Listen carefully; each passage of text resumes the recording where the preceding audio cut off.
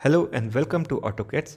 In this video, we will be looking for the step-by-step -step process of the assembly of this vertical reduction gear system. And we are going to see how we can apply different kinds of mate so that we are going to get the perfect simulation. For the parts, you can visit our website. I'm going to provide the link in the description. And from there, you can download the parts and you can also do the assembly with me. So let's just get started. So now we are going to start the fresh assembly phase. So for I'm going to click on this new and then I'm going to click on the assembly, just make it okay. And now we are on the fresh page. To insert the component, we are going to click on this insert component section. And from here, you have to browse for the parts. And you can see that I have saved every parts in a folder, including the previously created assembly also. From here, the first thing that we are going to import is the housing. This is the base on which the gears are attached. So I'm going to click on this housing, just make it open and this will going to be imported in your assembly page. Now the next task is to assemble the gear and the shaft. So I'm going to click on this insert component again and then just click on this browse and then we have the gears. You can see that we have this output gear and output shaft and I have the input shaft attached with the gear. So the complete assembly is there and you can just click on this input shaft just make it open and you can see that this is the input shaft that we are going to assemble in this hole over here. So how to make it? For that i'm going to click on this mate that is for creating the mate components then I'm going to select this face over here this face and then I'm going to select this face and you can see that it is it has been attached. But we want this part to be inside so I'm going for this mate alignment option and I'm going to change the alignment and you can see that it be, it is being aligned like this. Just make it okay and now you can see that if I'm going to move this component its movement is very much constrained. It will only going to move in a certain direction you can see that because uh, the faces are aligned now. Now to attach this gear to this box i'm going to go for the mate again. Then just go for this option this face over here which is this one and the, the inside face like this and you can see that these two are attached just move it and you can see that now the only motion you will get is the rotation because every other motion is constrained. Now for the output shaft we are going to import the gear first. Mate gear and shaft we can import both of them by pressing the control button and selecting both the part at once. Just make it open and you can see that these two parts are open. The first thing is imported is gear and then the shaft now i'm going to assemble uh, these two together first and then after once we have get once we get the assembly we are going to attach it to the housing. So i'm going to make it again i'm going for the mate. I'm going to select this one and this face and you can see that it is aligned like this. We want this shaft to be on the other side. So this part will be in this direction to first attach this mate. So this is the key and the hole. So i'm going to align this hole first. So just click on this face and this face. And then i'm going to click on this face and this face. Just make it okay. And you can see that now the gears and the gear and the shaft is aligned with the key aligned together like this. You can insert a key later on.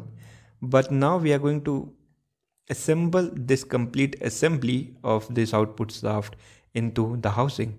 So I'm going for the mate again. I'm going to select this alignment, sorry, this face and this face to make them align. And then I'm going to use the gears. Uh, we want this gear to be in the same alignment. So I'm going to select the outer face of this gear and this face of this gear. And you can see that it has been aligned then just rotate this one so that the tooths are properly fit together like this. Now it will not going to rotate. We have to apply the gear mate. So for that i'm going for the mate again. And in the mate we are going to select the mechanical mate section. And in the mechanical mate you can see that we have the gears. And in the gear we are going to select the faces first. So what faces that you have to select you can select the shaft like this face and this face of the shaft. Click on this face face over here. Click on this face over here and you can see that these two shafts are together. Now you have to provide the gear joint. So it depends upon the gear ratio sorry. So for the teeth gear ratio you can provide the number of teeth. So i'm going to provide this one as 40 it is previously calculated. So this is 20 now make it okay and now you can see that we have got the gear joint ready. If you are going to rotate this you can see that the gear is rotated. Okay so we have i think we have provided the long wrong values or the opposite values. So we have to edit the gear mate again. So just click on this gear mate edit it. Just make this one as 20 and this one as 40 just make it okay and now you can see that the gears are perfectly aligned and they are perfectly rotating together. Simultaneously since the shaft are attached you can see that the shaft is also rotating. But the work is not over since we have got uh, this in the design but in practically we know that there are bearings that should be attached so that we get a perfect rotation. So we have the bearing so just click on this insert component browse it and you can see that we have this assembly bearing. Just make it okay and this is what we have got. And we want the two copies. So i'm going to press and hold the control button and i'm going to click on the bearing drag it and you can see that we have got the other copy ready. Now one bearing will going to be attached over here. So i'm going to click on this mate. I'm going to select this one and this face and then i'm going to select this face over here and this face over here. You can see that the bearing is aligned. Just make it okay. And this is how you will get the bearing attached to the main components. Similarly we want one bearing in this section.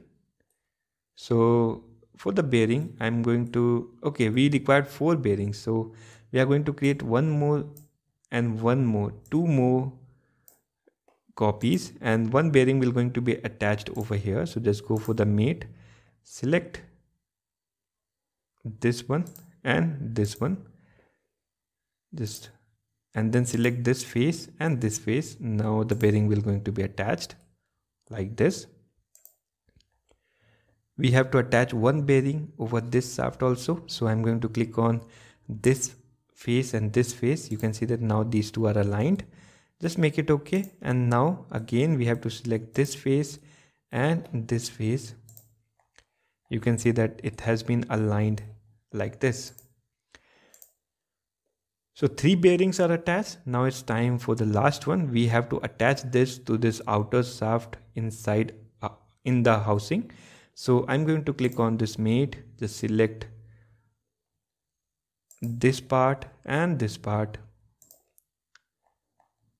Just make it okay and then just select this one and this face. You can see that now all the bearings are in their position. We have got almost complete assembly but now it's time for the housing cover.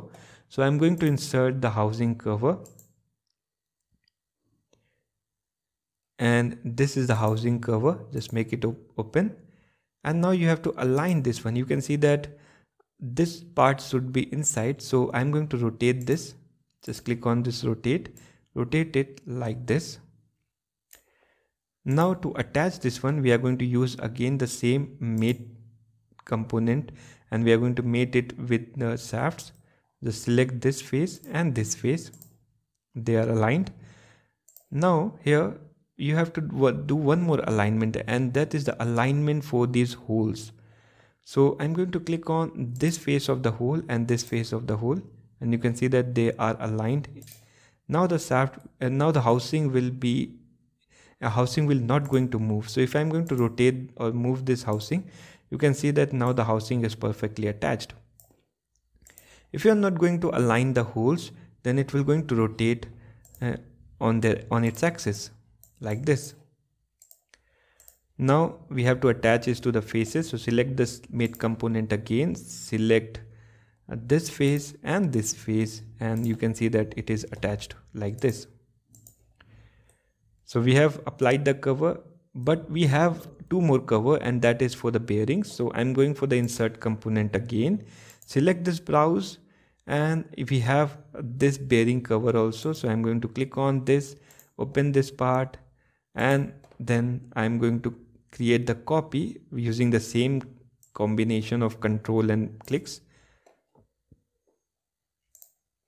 Again we are going to do the same process of mating this inside face and this outer face of the bearing. And then we are going to align the holes also. So i'm going to click on this hole uh, over here and over here. And then i'm going to select this face and this face. You can see that the bearings are now attached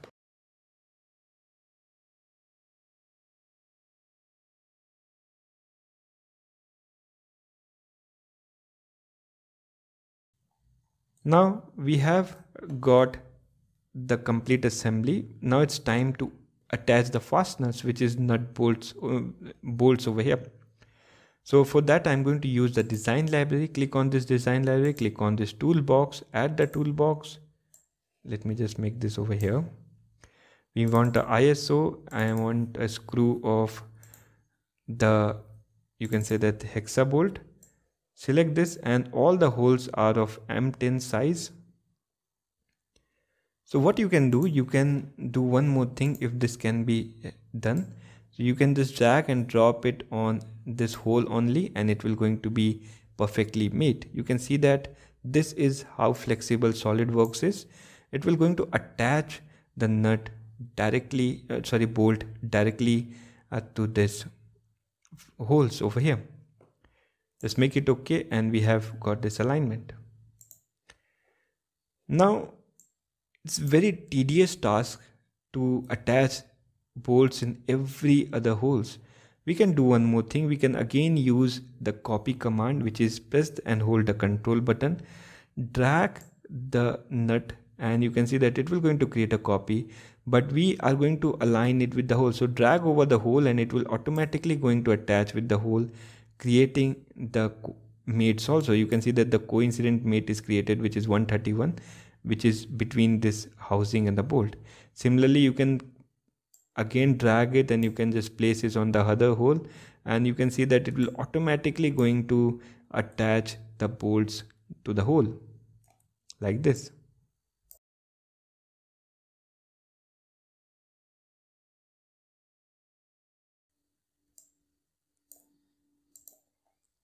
Similarly, we are going to attach the bolts to the housing also. It's different. Here you can see that you have to change the direction of the bolts also. So here you have to align the holes that so that uh, the bolts and this holes are like this and then just again press the drag and drop copy and you can just hover around the bolts of this bearing housing and you can see that it is going to be aligned.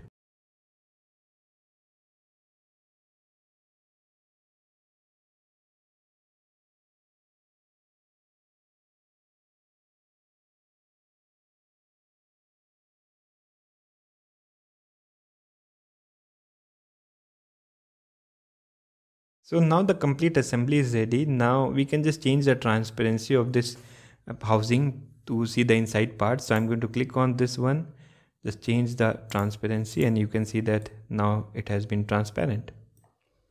You can move it and you can see that it is creating the motion. Now to create the motion study, you have to just go for this motion study over here. We are going to simply add a random motor. So I'm going to click on this motor and then I'm going to select this component which is this face and you can see that the motor is attached to this part. Just change the RPM if you want just make it okay.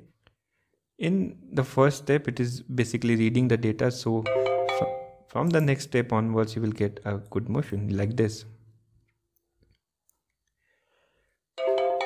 So this is how you can create the complete assembly of vertical reduction gear system. If you want a complete parts, you can, as I've told you, you can visit our website. The link is provided. And if you want a full comprehensive course on SolidWorks, you can check out our Udemy program, online course program, where you will get a comprehensive course on SolidWorks part modeling, assembly, simulation, sheet metal, and many more.